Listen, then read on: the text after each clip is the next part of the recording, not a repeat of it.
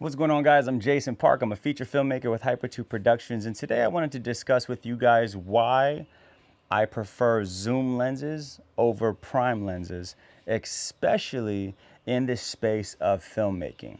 So if you're an indie filmmaker, right, eh, we're not going to talk about big budgeted filmmakers because you have money, you have time, and you have options, right? But when you're an indie filmmaker, a lot of times everything's coming out of your own pocket. Everything is just it's up to you and the tools that you have. And you have to remember that everything within this space, they're just tools, right? So the reason why I always gravitate towards zoom lenses over prime lenses, even though prime lenses are, are faster, um, is the flexibility of zoom lenses. You know, every minute counts when you're on set. When you get a location, you got four hours, you're gonna shoot five, six scenes every second, every minute matters, right?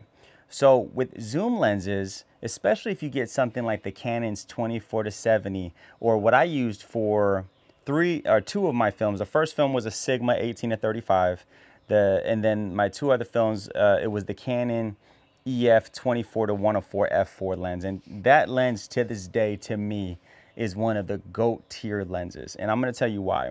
Because you can go wide for the shots that you need, and then you can go close when you need to. Instead of having to walk closer or having to reset up your camera or anything like that, you can just simply zoom in.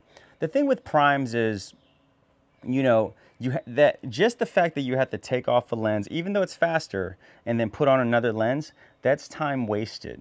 And I personally never shoot wide open. I don't like the the look and feel of wide open. A lot of times, even with big Hollywood films, when they shoot wide open, you can see uh, that it's kind of out of focus. Like it's in it's in focus, but it's it's kind of out of focus. And with some films, you know, they shoot wide open, and it's like, okay, I have a headache even watching this. So, you know, for me, I like to kind of shoot around that f4 range because it's easier to pull focus with moving targets. I don't use autofocus; everything's manual. Um, and again, you're able to get that versatility at a pretty reasonable price if you go for a higher f-stop, if it is just a little slower.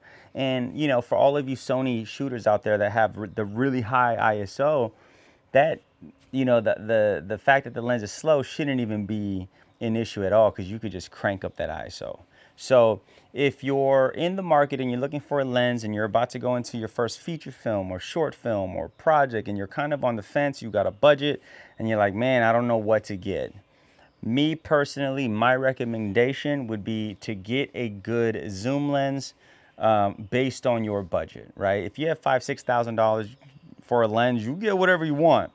But if you're in that range of like 500 to like $1,300 for like one lens, I would go for a used zoom lens. I'm Jason Park with Hypatude Productions.